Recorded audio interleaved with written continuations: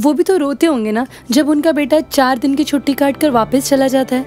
पर बेटा कहाँ फौजी और कहाँ एक ब्रह्मचारी? दोनों को आप कैसे कंपेयर कर सकते हो? हम्म, मैं समझाती हूँ कैसे। फौजी देश की सुरक्षा करता है कि देशवासियों के शरीर को हानि न पहुँचे। ठीक उसी तरह ब्रह्मचारी सुरक्षा कर रहे हैं हमारे मानसिक संतुलन की और हमारे मॉरल वैल्यूज़ की। किसी को पढ़ाई का प्रेशर और किसी को जॉब का। बॉयफ्रेंड गर्लफ्रेंड अफेयर्स का प्रेशर ये शादी के लिए अच्छा रिश्ता ना मिलने